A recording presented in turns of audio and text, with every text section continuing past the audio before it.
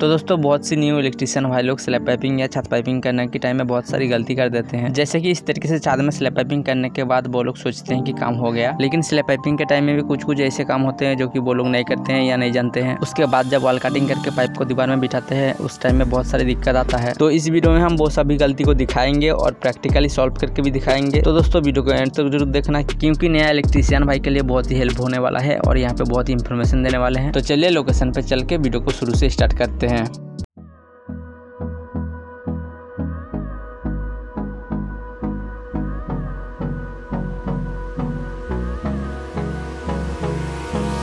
Hold me close till I get up.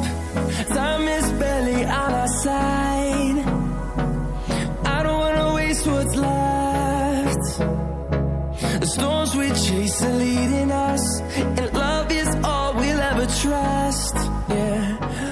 तो दोस्तों, यहाँ पे लेफ़्ट टर्न लेते ही हमारा लोकेशन आ जाएगा। तो आप लोग बोर ना हो जाओ, इसलिए इस वीडियो को थोड़ा ब्लॉक टाइप कर दिए हैं।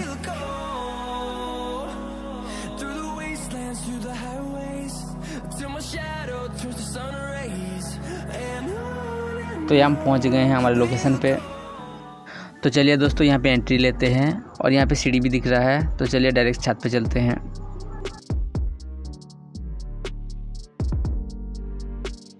तो दोस्तों, यहाँ पे आप देख सकते हैं, यहाँ पे हम आधे से भी ज़्यादा काम कर चुके हैं, क्योंकि यहाँ पे हम कल शाम को काम किए थे। तो पहले आप लोगों को समझा देते हैं कहाँ पे क्या रूम है। तो हम जहाँ पे खड़े हुए हैं, एक गोडाउन रूम है, और यहाँ पे सामने भी देख सकते हैं, ये भी एक गोडाउन है। तो यहाँ पे चावल, गेहूँ, आटा रखने के लिए रेशन दुकान का गोडाउन है, चौदह बाई बीस साइज़ का, और एक लिविंग एरिया है, एक टॉयलेट बाथरूम है, और एक स्टेयर रूम है।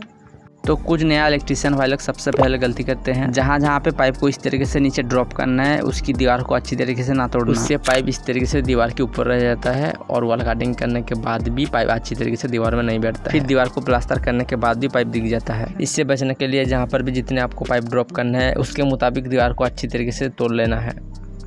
और दूसरे गलती करते हैं। छाद में जितने भी कंसिल बॉक्स या फ़ैन बॉक्स बिठाते हैं, उसके अंदर की पाइप को या फ़ैन बॉक्स या कंसिल बॉक्स को अच्छी तरीके से प्लास्टिक या पेपर की मदद से जाम नहीं करते हैं। उससे क्या होता है कि ढलाई की बॉक्स मसला और बालू जाके अंदर जाम हो जाता है, फिर वायरिंग करने के टाइम में बहुत दिक्कत आता है। कहीं कहीं यहाँ पे डाला हुआ पाइप पूरा बर्बाद हो जाता है जाम हो जाता है, उसके बाद कुछ इस तरीके से केसिंग कैपिंग वायरिंग करना पड़ता है।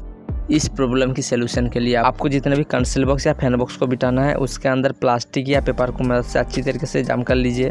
और जिस बॉक्स में भी छोटे साइज़ के पाइप डाले हैं, इस बॉक्स में इस तरीके से साइड में अच्छी तरीके से प्लास्टिक की मदद से जाम कर लीजिए। ताकि वाइब्रेटर मशीन चलने के बाद भी सीमेंट की मसाला जाके अंदर जाम ना हो जाए। गलती नंबर थ्री और यही गलती सबसे ज़्यादा करते हैं। छोटे बड़े सभी इलेक्ट्रिशियन भाई लोग करते हैं। क्योंकि इस तरीके से स्लेब पाइपिंग या छत में इलेक्ट्रिकल पाइपिंग कंप्लीट करने के बाद सोचते हैं कि चलो सारा काम हो गया। लेकिन अभी जो छत के नीचे बचा हुआ काम रह जाता है, वो ढलाई करने के बाद बहुत ही दिक्कत आता है। लेकिन जो जो इलेक्ट्रिशियन भाई लोग इस तरीके से स्ट्रेट पाइप यूज़ करते हैं, उनको ज़्यादा प्रॉब्लम नहीं आता है। लेकिन जो जो भाई लोग इस तरीके से राउंड पाइप को यूज़ करते हैं, उनको ज़्यादा प्रॉब्लम आता है। और इस प्रॉब्लम का सॉल्व उनको ज़रूर करना चाहिए, नहीं तो बाद में वॉल कटिंग के टाइम बहुत ही दिक्कत आता है। इन प्रॉब्लम की सॉल्व के बारे में बात करें तो इस तरीके से पाइप रूम डाइनिंग या आप किचन में जहाँ पर भी निकला हुआ है, सभी पाइप अलग थलग रहता है तो सभी पाइप को इस तरीके से इकट्ठा करके पिन की मदद से या सरिया बांधने की वायर की मदद से एक साथ सभी पाइप को दीवार में अच्छी तरीके से बाँध लेना है।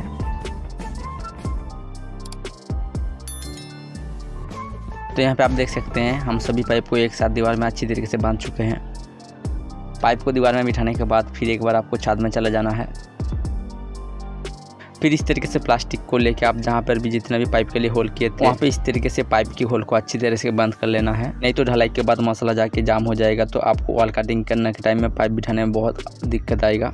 ए स्टोक को करने के बाद आपका वॉल कटिंग बहुत ही आसानी से होगा और पाइप इस तरीके से बहुत ही अच्छी तरीके से बैठेगा। पाइप डालने के टाइम और एक काम करना है जितने भी कॉन्सिल बॉक्स या फ़ैन बॉक्स है एक दूसरे के साथ एक या दो पाइप को कनेक्ट करके रखना है क्योंकि एक पाइप हमारा जाम हो जाएगा तो दूसरे पाइप हमारा काम आएगा नहीं तो पूरा वायरिंग बर्बाद हो जाएगा। और बॉक्स के सामने सभी पाइप को इस तरीके से सरिया बांधने की वायर की मदद से अच्छी तरीके से बाँध लेना है। और जहाँ जहाँ पे भी आपको डाउट है कि पाइप हमारा पिचक रहा है वहाँ पे डाइस की मदद से सरिया को इस तरीके से मोड़ देना है। चैनल को सब्सक्राइब करो पहले। हाँ, जल्दी करो। मुझे पता है कि आप लोग नहीं करते वीडियो देखते हो लेकिन सब्सक्राइब नहीं करते। लाल कलर का बटन नहीं से दबाओ। जल्दी दबाओ। जल्दी दबाओ फिर मैं शुरू करूँ। दबा दो जल्दी। दबा दिया। घंटी भी दबा देना ठीक है?